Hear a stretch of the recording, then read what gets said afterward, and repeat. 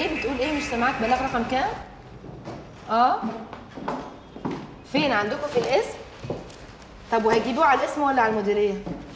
ماشي. طبعا حلاوتك محفوظة يا عم لمعي. اسمعني لو في أي حاجة جديدة بلغني بيها على طول. خلاص. خلاص ما تعطلنيش أكتر من كده. يلا باي باي. داليا عايزة أخد رأيك. بعدين يا بنتي. بعدين والنبي يلا باي.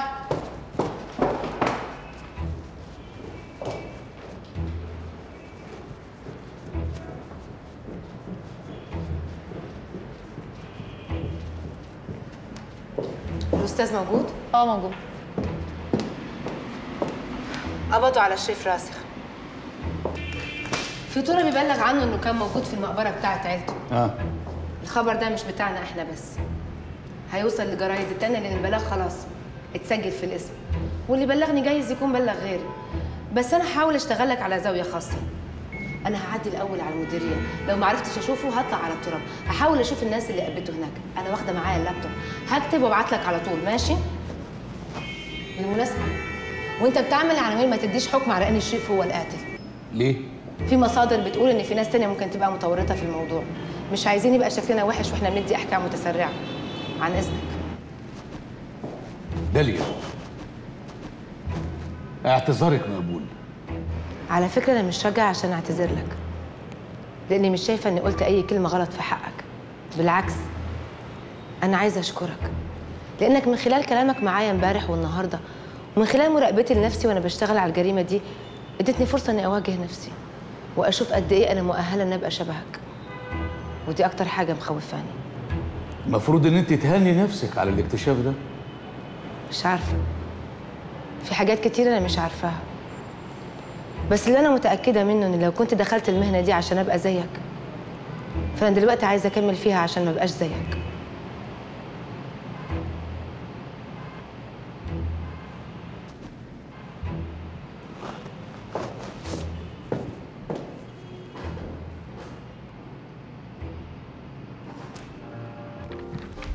يخرب بيت أبوها. استغفر الله العظيم الله يرحمها بقى. كل دي نمر كلمتها في الكام ساعة دول؟ دي كلمت مصر. ما هي مصر كلها كانت تقريبا في الفرح مع الباشا ماشي.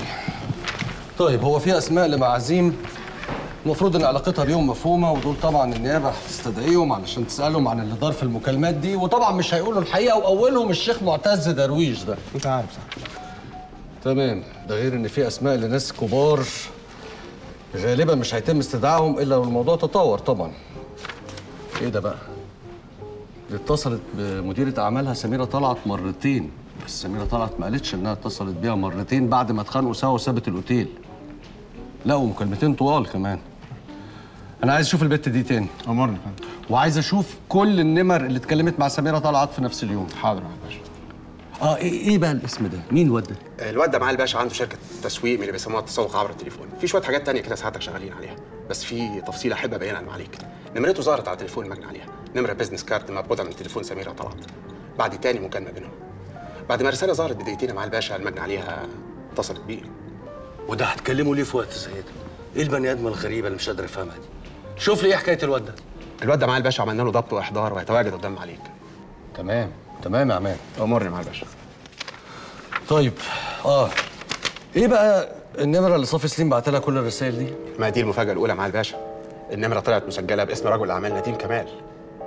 فرغتوا الرسائل؟ أيوه يا فندم في نوعين من الرسائل. رسائل فيها شتايم وتهديد وإنها تفضحه ورسائل تانية بتتحايل عليه وتتوسل ليه انه يسيبها في حالها. وإن هي عايزة تشوفه وتقابله عشان تحاول ترضيه. آخر رسالة بينهم سعادتك كانت مؤثرة جدا. بتقول له إيه؟ مفيش أي مراعاة لأي حاجة حلوة كانت بينا أيوه يا عماد بس أنت جبت لي قبل كده نمرة تانية خالص لنديم كمان. أيوه يا فندم سعادتك لولا شفنا اسمه في الرسائل. ما كناش هنعرف ابدا يا فندم إن دي نمرته. وهي فعلا نمرته مع الباشا بس تبع شركة موبايل تانية. وهو رد على الرسائل دي؟ خالص. خالص. خالص. ماشي. طيب دي المفاجأة الأولانية. اشجيني بقى بالمفاجأة الثانية أول مكالمة سعادتك عملها المحامي بعد ما قفل مع الواد كلم واحد اسمه رامز أيوب. فين المفاجأة؟ رامز أيوب ده معاه الباشا مدير جيم كبير قوي. صاحبته أمنية هانم عز الدين. مرات نديم بيه كمال أم عياله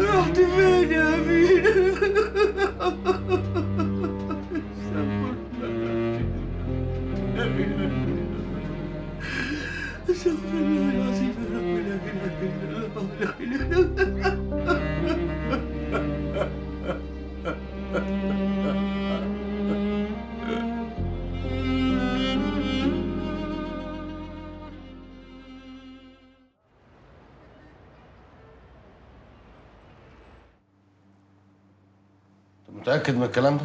طبعا يا فندم. هو مستر نديم كمال أي حد ده من أهم الجسس اللي عندنا. ولو كان جه يوميها فعلا أنا كنت أكيد شفته.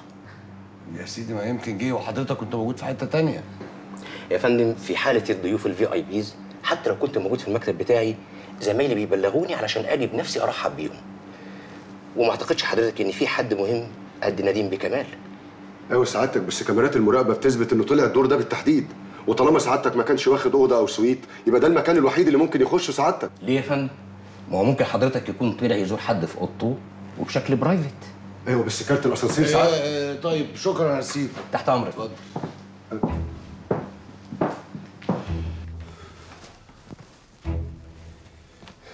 بس أنا اللي شاغلني سعادتك.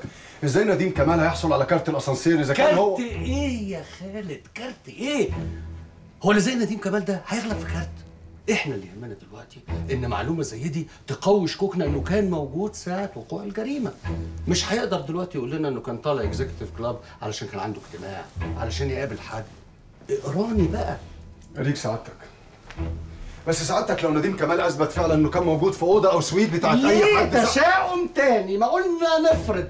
نقول يمكن ربنا يكرمنا ونلاقي بصمته على السلالم. يمكن سعادتك.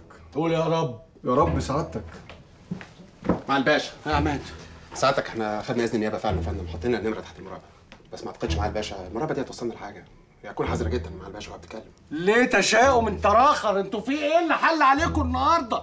دلوقتي انت مرات نديم كمان. يا سيدي ما تتقمصش قوي كده. دي مجرد فرضية. ثم انت الطول أساسا. إيه اللي هيخليك تبقى حذر قوي وانت بتتكلم في التليفون؟ هيجي في دماغك يعني إن في حد يجرؤ إنه يراقبك؟ لا مع الباشا. صح؟ صح صح ولا لا يا عم عماد؟ صح مع الباشا. مع الباشا لما جينا نشوف ليست المكالمات المسجلة على تليفون سعادتك لقينا حاجة غريبة قوي مع الباشا. أيوه بقى قول لي حاجة تفرح. هي ما تفرحش قوي سعادتك مفيش أي علاقة يا فندم ما بين أي مكالمة سجلناها ورقم نديم كمان اللي عندنا. طب وايه يعني؟ وايه يعني؟ ما دي حاجة متوقعة، أكيد بيكلموا بعض على نمر برايفت. أنت بقى بإذن النيابة اللي معاك ده تقدر تطلع كل أرقام التليفونات اللي تخصهم في كل شركات المحمول وتعمل لها تعقب ومراقبة. أكيد في مرة من المرات هنصطادهم هما بيكلموا بعض، هو مش معقولة يعني ما بيتكلموش غير وجها لوجه. إحنا بس نصبر شوية وما نستعجلش في الاستنتاج أبوس إيديكم. حاضر مع الباشا على العموم سعادتك إحنا عرفنا النهارده بالليل إنها تروح الجيم هي ورامز والمحامي أكيد مع الباشا عشان يعرفوا يعملوا إيه مع الواد طبعا هنسجل الكلام ده. جاري يا فندم تمام. تمام يا عماد. تمر سعادتك أكيد إن شاء الله ربنا هيوفقنا في القعدة بتاعتهم دي وهنوصل لحاجة. أكيد هيكونوا بيتكلموا على راحتهم أو خلونا نتمنى إن هم يقعدوا يتكلموا على راحتهم. وليه التشاؤم يا باشا؟ ما تخليك متفائل زي سعادتك. ماشي يا سيدي. بعت حد سميرة طلعت؟ هي في طريق مع الباشا تحب نوديها على المكتب على طول سعادتك؟ لا. أنا مش عايزها تحس إن في أي حاجة مريبة. خليه يفهمها إن النيابة عاوزاها علشان تتعرف على حاجة تخص صافي سليم في السويت بتاعها. طيب هقوم أنا أبص على شريف راسخ وأرجع لكم على طول. اخباره إيه الواد؟ مندوب المبيعات ده؟ مع الباشا تليفونه مقفول وقال ما أفتحه نجيبه لسعادتك على طول. طيب أنا مش عايز أقابل سميرة طلعت إلا والواد ده تحت إيدي. تعليمات معاليك يا باشا. تمام يا فندم. ها كمال. إيه أخبار بورسعيد؟ كله تمام سعادتك. بعتوا لنا تقرير بالمعلومات اللي عرفوها لحد دلوقتي. الراجل الأمريكاني نازل في فندق هيلنان والمفروض إن الصبح طالع على المركب اللي مسافرة قبرص والنهاردة الصبح كان في شركة الشحن بيخلص إجراءات شحن صناديق. صناديق؟ يعني إيه صناديق إيه؟ والله التحريات بتقول إن هي موبيليا اشتراها من دمياط. من دمياط؟ وده لحق إمتى إن شاء الله يشتري موبيليا من دمياط؟ ده راجل المفروض إنه أول مرة في حياته بيجي مصر. فضل قاعد مرزوع في الأوضة وما اتحركش منها طول فترة إقامته. عرف منين بدمياط والموبيليا اللي في دمياط؟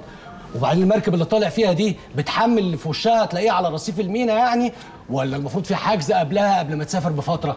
مش جاي سعادتك يا باشا يكون ده السبب اللي يخليه ما غادرش الأوتيل عشان يتم الصفقة دي.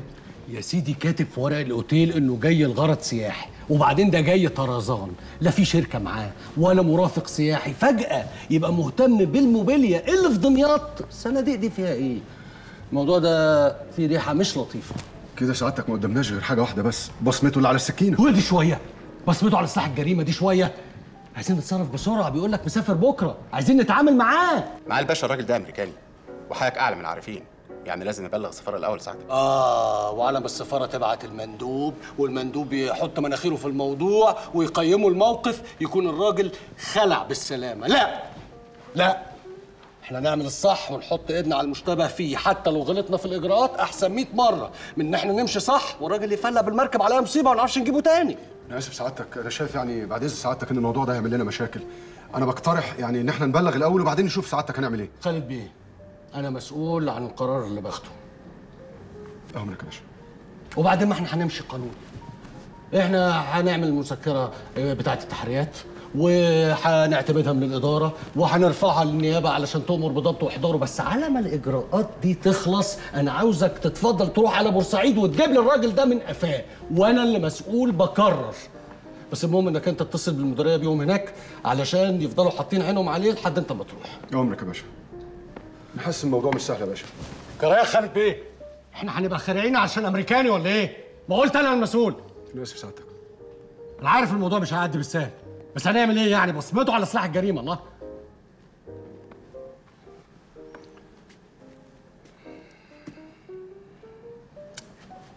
لازم تطلع لي انت بحاجات كده.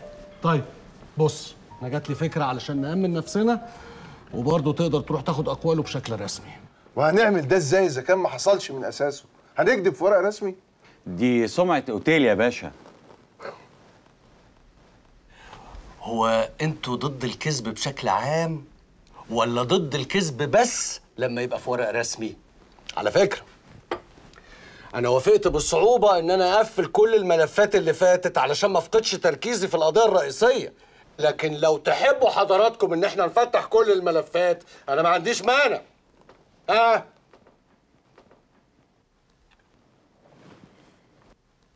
وبعدين سمعة الأوتيل إيه اللي حضرتك بتكلمني عنها بعد كل اللي حصل ده؟ أنتوا لو قلبكم على سمعة الأوتيل فعلا يبقى لازم تتعاونوا معانا علشان نحط إيدنا على اللي ارتكب الجريمة المنيلة دي وبسرعة. على فكرة اللي بقوله ده مش اقتراحات ده واقع ولازم كلنا نتعامل معاه. أظن كلامي واضح. أيوه بس اللي حضرتك قلته ما حصلش مين اللي قال لسيادتك كده؟ اتفضلوا معايا وانتوا تشوفوا بنفسكم. اتفضلوا معايا. يلا ما حصلش إيه؟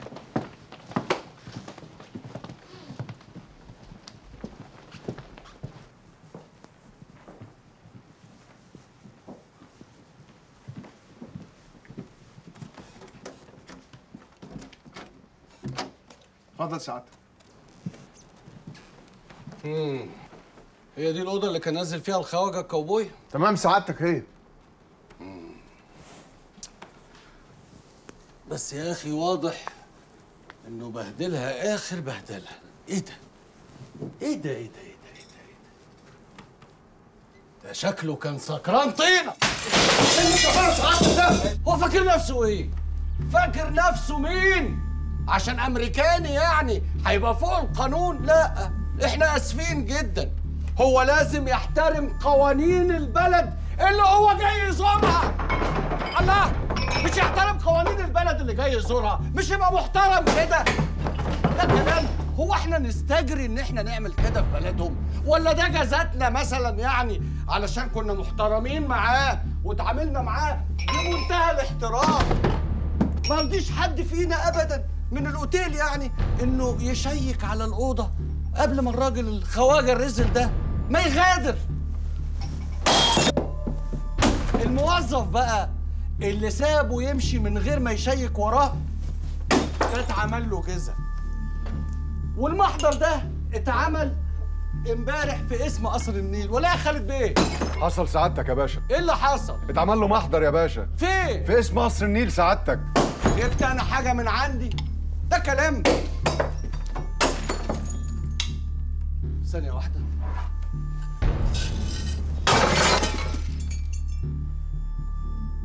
الاوتيل عن نفسه. ابتلع الإهانة. الاوتيل ابتلع الإهانة. قال لك مش مشكلة. ما هياش يعني أول مرة ح... حد هيهنا فيها ولا حاجة. عادي. إنما اللي مش ممكن الاوتيل يسكت عنه ابدا هو حق الاوتيل في تعويض هذه التلفيات. الاوتيل كمان مستعد إنه يتصالح معاه. من منطلق آه، آه، إنه أول مرة يزور مصر ومصر دي بلد مضياف زي ما كلنا عارفين ونرحب دائما بالسادة السياح والزوار ولكن في إطار من احترام الشرعية والقانون.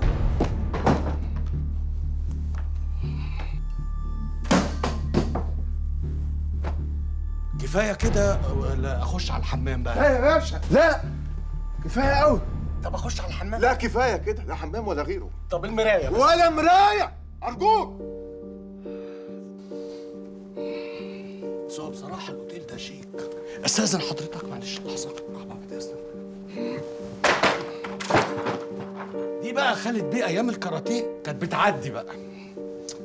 استنوا استنوا. شفت هتنسيني حضرتك؟ كنت هتنسيني. أمال أنا ليه دايما بقول إن اللي ملوش في الشرب ما يتنيلش يشرب؟ ليه بقى؟ اتفضل يا سيدي حتى الميني بار الغلبان ما نجيش منه. اتفضل. آدي يا سيدي. كل ازايز الخمرة التافهه الصغيره بص عمل إيه؟ شربها كلها وما رضيش انه يحاسب على حاجة. الله اهو. كل ده ما رضيش يحاسب عليه. طب والأوتيل يعني هيصرف عليه؟ حرام. دي فلوس مستثمرين غلابة.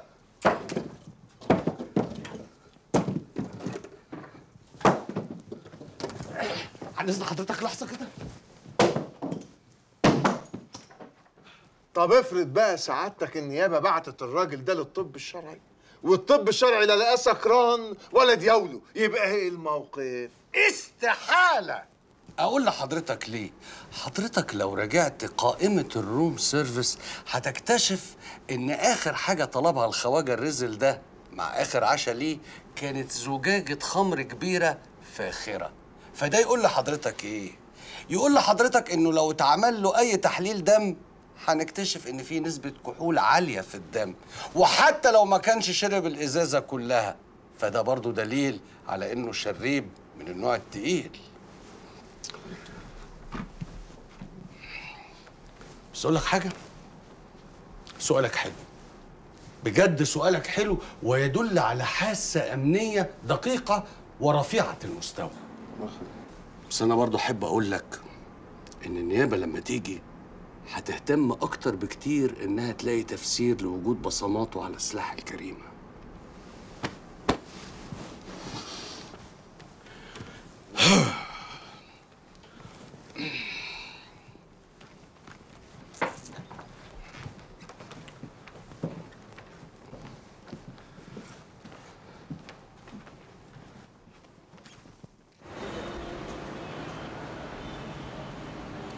طب وانتوا شفتوا الشيء؟ شفتوه فعلا؟ طيب ماشي الحقني أوامي الحقني الحقني أوامي الحقني على الجنة الحلوة اسبقني يا سيدي يا سيدي.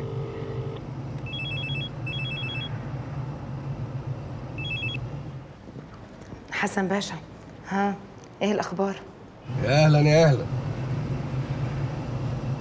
مش عيب برضه صحفية شاطرة زيك تسأل سؤال زي ده؟ مش المفروض إن الصحافة هي التي تصنع الأحداث. والله ما خدناهاش في الكلية دي. أنا اللي أعرفه إن الصحافة بتغطي الأحداث.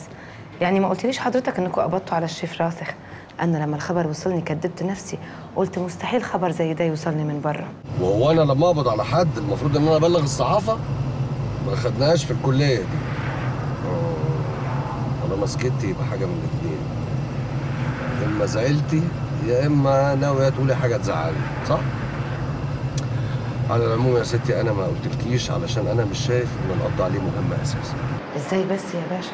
إذا كانت صحافة مصر كلها هنا وبكرة هتلاقي صورته مشرفة الصفحة الأولى في كل الجرايد والمجلات والبرامج حتى. حاسس كده إنك بتلفي وتدوري عشان تقولي كلام من عينة وأنا محتاجة إن أنا أنفرد بنشر حاجة عن بقية الزملاء اللي موجودين دول. بس أنا عارف إنك مش هتقوليها عشان إحنا علاقتنا أكبر من كده صح؟ ماشي يا باشا. انت صحي لي أكتر من لازم النهارده. بس هقول لك إيه؟ حقك. ده عيب الصحفي لما يدي المصدر بتاعه فرصة انه يزنقه بدل ما هو اللي يزنق المصدر بتاعه. تاني مصدر؟ تاني؟ بصي أنا مصدر دي بتحسسني إن أنا مخبر في العياط بصراحة. بس سيبك أنت. أجدع حاجة فيكي إنك ما سمعتنيش كلام من نوعية بقى ده جزاتي إن أنا ساعدتك خصوصا إن أنا اللي فاهمه إنها مساعدات لأجل الله والوطن. صح ولا إيه؟ والله مالكش حل يا باشا. بس طالما بتتكلم بالروقان ده يعني شكلك كده حاطط إيدك على خيط مهم قوي في القضية. يعني مثلا لقيت بصمات نديم كمان على سلاح الجريمه وهو ده لو كان حصل كنت رديت عليكي أساسا ولا أعرفك. والله. طيب هي دي أصلا آخرة خدمة خد صورة الغاشمه شفتي؟ شفتي؟ أديكي قلتيها أخيرا أهو. أيوه أخيرا ها؟ عموما يا ستي ما تستعجليش. كلها ساعة وموضوع بصمات نديم كمال ده يتحسب. ليكي عليا. أول ما ينفع إن الموضوع يتعرف هتكوني أول واحدة تعرف. هو ده مش حقك القانوني إنما ده حق الجدعنه يعني الحكاية ملهاش علاقة بنديم كمان أمال إيه سر السعادة اللي في صوتك دي؟ ها؟ إيه يا باشا؟ مش هتقولي حاجة حتى لو مش للنشر؟ لا وعلى إيه. طيب ما أقول لك حاجة للنشر. بجد؟ يعني هتديني فكرة الجورنال بتاعي؟ طول عمري بيضحكني جدا الهوس الصحفي بتاع نحن ننفرد. ما بيفعنيش أكتر منه بقى غير موضوع حصريا اللي طالعة لنا بيها الفضائيات دلوقتي دي.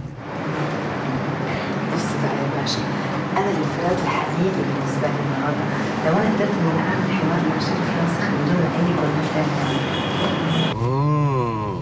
انت عارفه انت لو كنت مراتي وطلبت مني الطلب ده أنا كنت طلعتك في التليفون.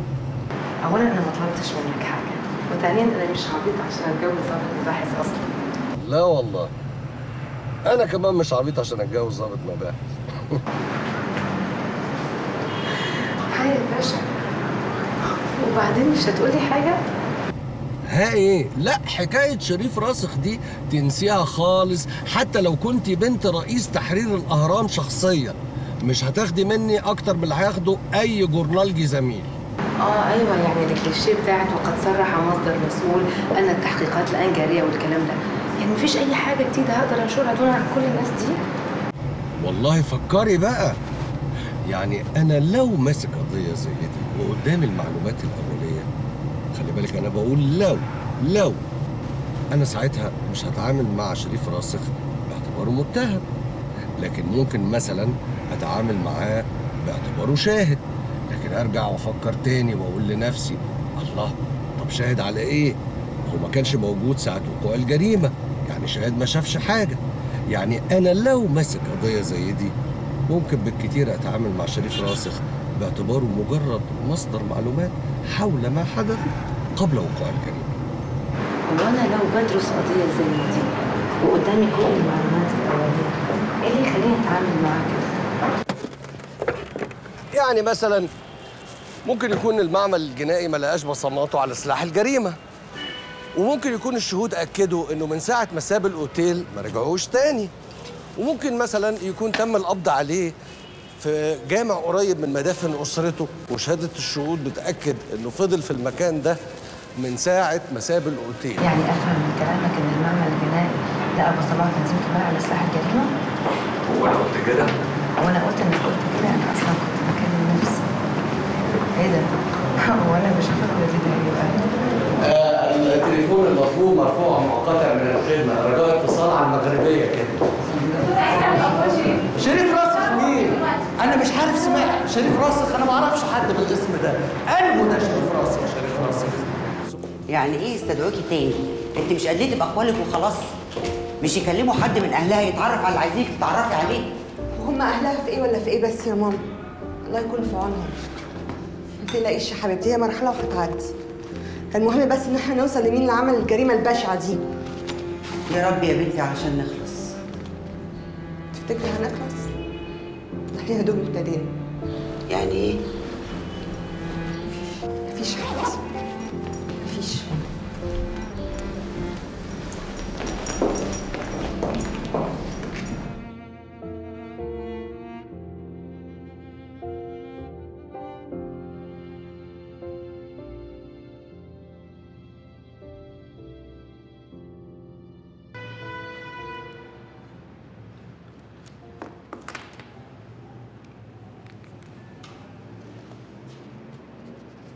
ألو.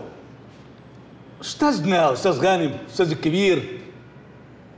لا يا أستاذ التعديلات وصلت وراجعت عليها بنفسي زي ما سيادتك عايز بالظبط.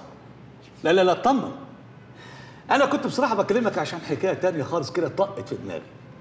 أيوه. يعني أستعين بيك كده طالما شهيدك مفتوحه عشان تسعفني بأسلوبك الأدبي الجميل ده. إحنا جات لنا معلومات إن شريف راسخ التهمه اللي موجهة له في قتل صافي بعيده عنه خالص. راحت لحد تاني. إلا متأكد. طبعا متأكد. هننفرد بالخبر ده بكرة الصبح إن شاء الله. عشان كده أنا كنت طالب من سيادتك تكتب لي بورتريه كده قد 500 كلمة. بورتريه أدبي كده بلغتك الجميلة الرصينة دي. هجيب كمان يا سيدي الدكتور الشهواني أستاذ الطب طبعا يكتب التحليل عن شخصية شريف دي. هو طبعا الشهواني وفي غيره. ده اسم على مسمى. عناية ساعة كويس؟ طب عشان خاطرك ساعتين. بس خلي بالك الصفحة مستنياك. تأمرني مع السلامة.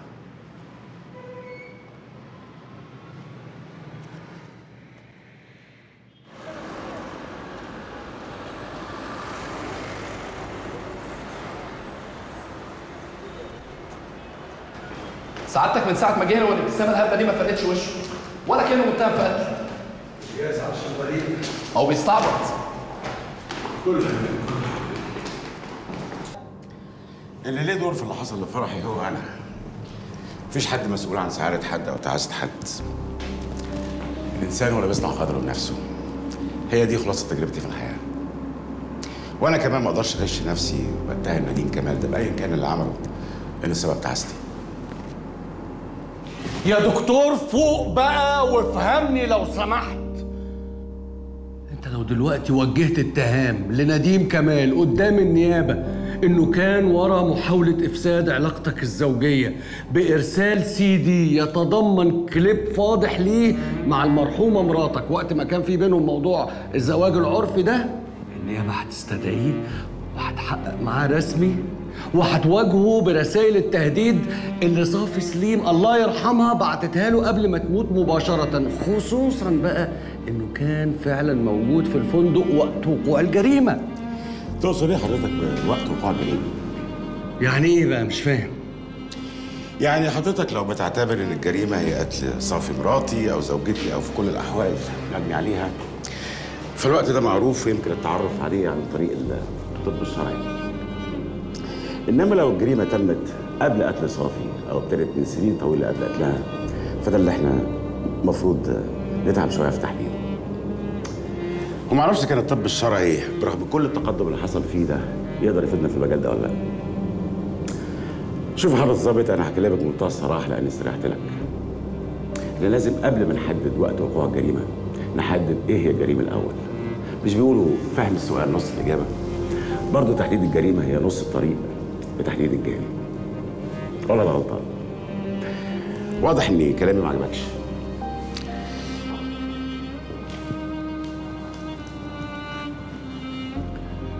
شوف يا دكتور أنا بقالي سنين طويلة في البوليس. وشفت تأثير الصدمة على ناس كتير قوي يعني شفت إزاي ممكن الصدمة تخليك تبلم أو تخليك تنهار.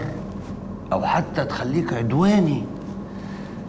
إنما إن الصدمة تخليك لمض ورزل فبصراحة دي أول مرة تحصل لي.